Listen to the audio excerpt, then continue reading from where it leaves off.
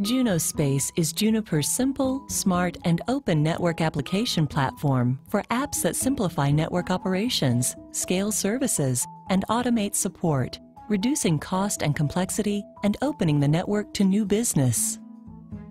Junos Space Security Design is an enterprise-class security solution specifically designed to enable you to scale firewall and VPN services rapidly and accurately. Deploy thousands of devices in minutes with minimal intervention to minimize errors. You can fully automate the visualization, configuration, and deployment of security infrastructure in multi-domain networks.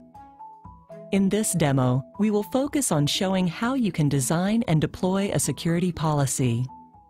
Topology-based policy definition enables you to model security devices once and have the configuration ready to push to thousands of devices as they connect.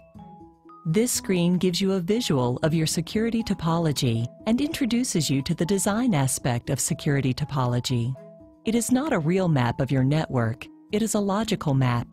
You can see how easy it is to drag and drop objects and create links. You can create domains, which are a collection of protected resources that share a common security policy. You can drag and drop hosts, domains, and devices. You can draw links between them and create your map just like Visio does. You also have the ability to create this map via Excel sheet.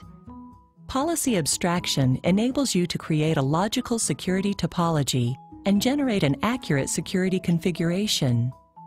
Here, you can see existing policies that have been defined. You can click on the actions and do many modifications. Click on the list view to get a quick summary of these policies.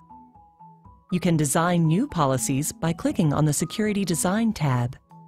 Here, you only see the domains. This is where you can define your policies without knowing the end topology. This is the abstraction of your policies. You can drag and drop new domains, and links represent policies. Right-click these links to modify and provision these policies or use the toolbar on the right to create new ones. Once you click Modify, you can see all the existing policies, and by clicking the plus button, you can add and even modify existing policies. Once your policy is done, you can then provision them. In Provision, you will only see the devices that have been impacted by this modification, hence reducing the number of devices that the user has to think about. Click on View to see the XML version of the config that will be provisioned onto the device. Then click on Provision and the job is created so you can keep track of it. Junos Space Security Design, another simple, smart Junos Space app to ensure you get the most from your networking investment.